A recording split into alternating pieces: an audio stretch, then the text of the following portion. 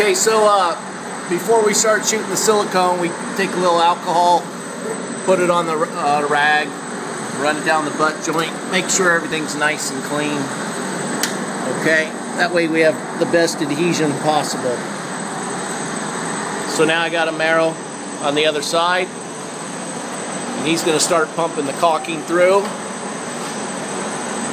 Now here's the trick, silicone, the less you play with it, the better off you are. So going to shoot the caulking all the way through the joint.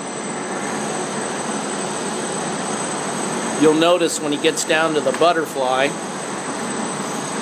going to stop about three or four inches before he hits the butterfly.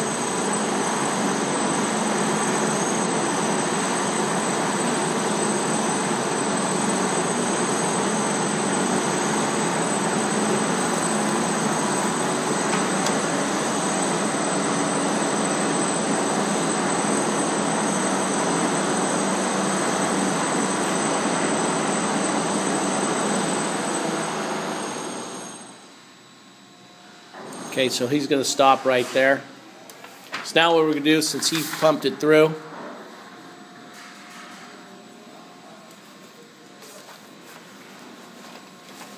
So now what I'm going to do on my side, since he pumped it through, now I'm going to flat tool it with a putty knife.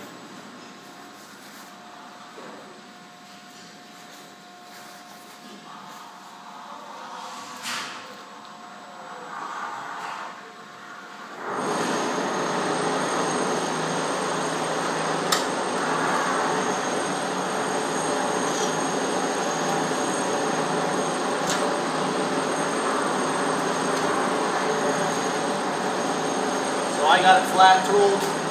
Barrow's got it flat tooled. So now here's the key. This is what saves us time. Take our Tizax here. What we call this is cutting, cutting the silicone joint. Come up like this, cut it, fully access silicone. Goes on the cutting knife, I mean on the Tizax. Boom, we're done with this joint. We're not going to tool it anymore both look at each other. We kind of observe the silicone, make sure there's no bubbles in it. This is a good product.